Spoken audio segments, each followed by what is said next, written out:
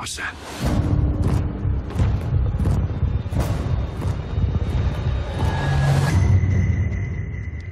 There's a monster outside.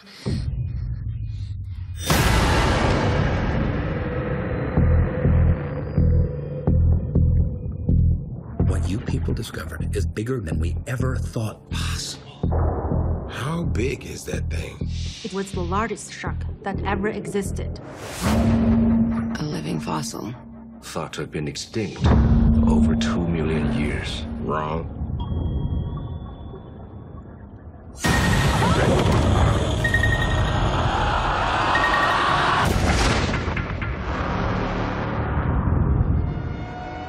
My God. It's a megalodon. He's kidding, right?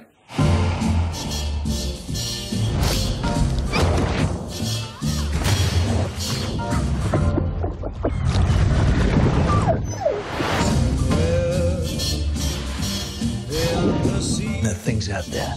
You need to find it and kill it. Why don't you just put a tracker on it?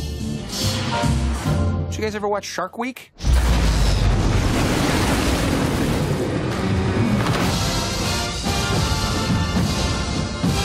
He looks heroic. But he's kind of got a negative attitude.